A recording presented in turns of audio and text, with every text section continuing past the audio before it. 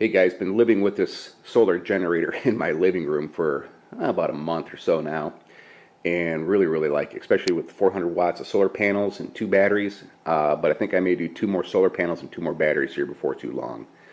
Uh, what I really needed was an on and off switch for the inverter so I got in touch with GoPower and ordered the correct switch for this style inverter. I got it in and played with it a little bit and works good. The problem I'm having though, here let's play with this just for a second. Inverter's on, click it off, and it goes into blinky mode, turn it on, and the inverter comes back on. It takes a second, click, there it goes. Alright, the issue I'm having with this switch is I've got a 25 foot cord that came with it.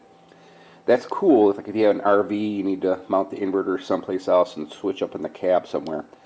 I'm glad that they do that. However, I wish they would make a 3 foot or 1 meter cord from the back where the RS-232 jack is into the RJ12, RJ14 telephone style plug on here. Um, just have a lot of extra cable. So, long story short, got in touch with GoPower and they don't make a shorter cable. And they suggested that I get a crimp, crimper and get some plug-ins and recrimp that end and shorten the length of the cable. Because I want to mount it right here on the front, you know, drill a hole and mount it in there and make it look all nice. And I really want this solar generator not to be too gimmicky with a lot of doodads and extras on here. Just keep it simple and all business. So I like the switch. I just don't like having all that cable in there. But hmm. but if you know if they make a, or if you have one, uh, an RS-232 to a RJ12 or 14 style telephone jack, like one meter length cable, let me know. So I'm going to be working on this solar generator here today take it out in the garage, disconnect everything.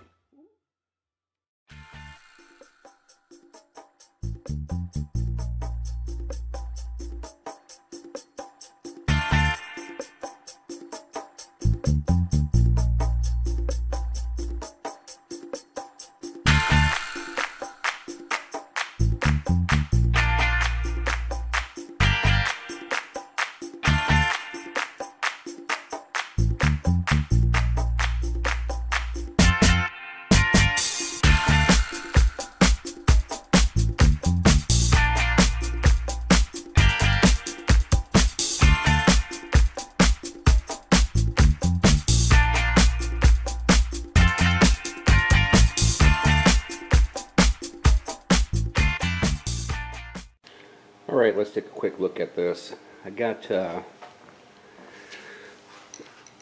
see the RS-232 is right there. And I just tucked all the excess wire over here. Just let it loosely sit.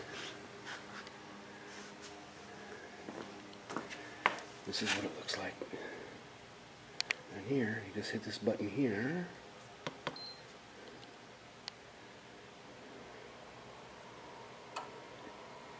And she turns on.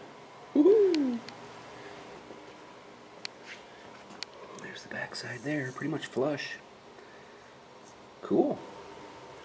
Another quick thing I did is I got rid of this painted metal outlet cover, patio style cover, and just put a regular metal cover on here because I never really liked this red dot cover on here. So I'm just going to make a make it look. I may change this out to a brown or black one too. So, all right, mission complete. Got it done. I'm going to put it back into service in the living room. Hook it back up with solar panels. All right, just got it set back up here in the living room, plugged into solar panels and plugged into the TV and stereo and stuff. Uh, the orange indicator light, solid light, means that it is on the inverter. And it is running. I'm also making solar power too, a little bit. Let's see how much I'm making here. Not too bad. Cool. If I want to shut the inverter off, it should blink. Yep. Cool. Turn it back on.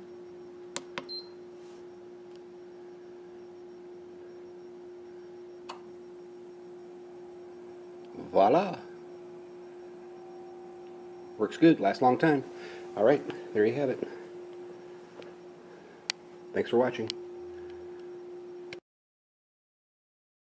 Stuff that I light inverter is